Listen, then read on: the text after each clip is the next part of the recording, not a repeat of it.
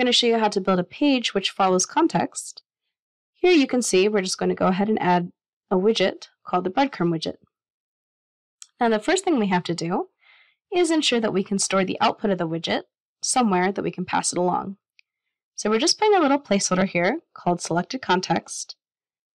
And we're just going to take that widget and we're going to say, hey, take your output and funnel it to selected context.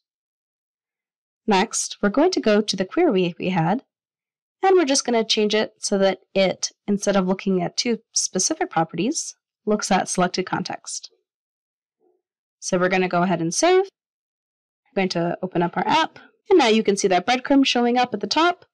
If we go ahead and pick one of our assets, you can see that it's updated to show a couple of different properties. And again, it will update to show other properties as well. Now just please keep in mind that not every asset has properties with data. Here you go, you can see storage tank has just one property, so that's all you see is one gauge.